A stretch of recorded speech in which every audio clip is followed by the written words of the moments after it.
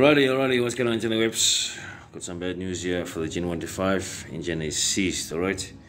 As you can see over here, I removed the uh, flywheel casing.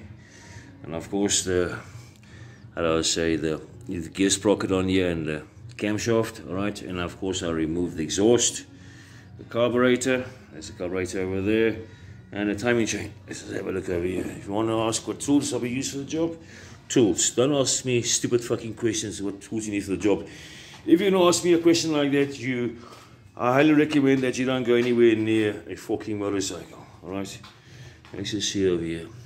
The very first thing I did was I removed the spark plug, and the spark plug told me already what I already know. Let's just see where my spark plug is. Spark plug is over here. Don't you can see it over there. It's bent, so obviously something's been knocking on there. That doesn't look good.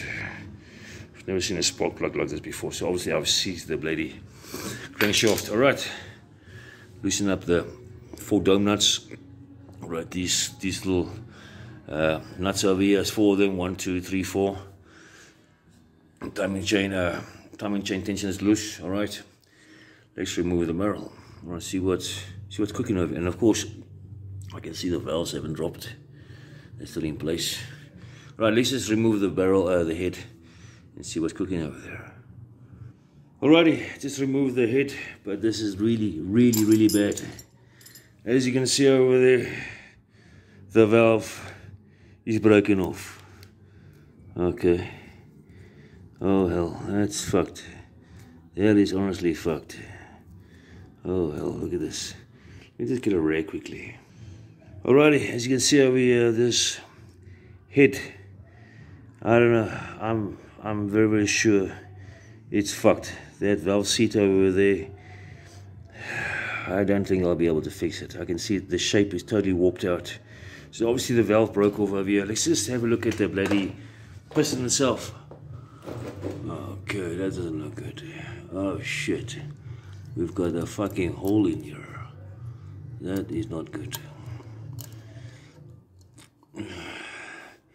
That is very bad. I've never seen something like this. So obviously that is the fucking valve.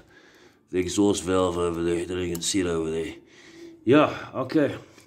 So this is gonna be a maybe that barrel is still fine. Let's just remove the barrel and see what the barrel looks like. So obviously I'm very very sure the head is fucked. Hopefully the barrel uh, the barrel is still good to go. I'll put the video on pause. Let's remove the bloody uh, I don't want to say the the barrel there. Put the video on pause quickly. Yeah, alright, let's just have a look again at the bloody head over here. You can see over there. I want to see if I can try and save it. You know, if I can't, I can't. I'll just have to bloody replace the damn thing.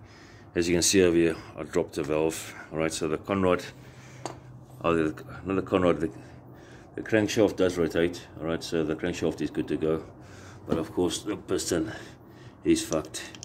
And to me this is an aftermarket gudgeon pin, I don't know, there's just too much play on there. I want to see if I can save this piston rings, but of course the barrel, the barrel looks nice. Very, very good. Uh, that looks good. Alright, just the average wear and tear on that. Okay, so this video is basically part one. Hopefully you guys enjoyed it. Right, see you again for the next video. Thank you.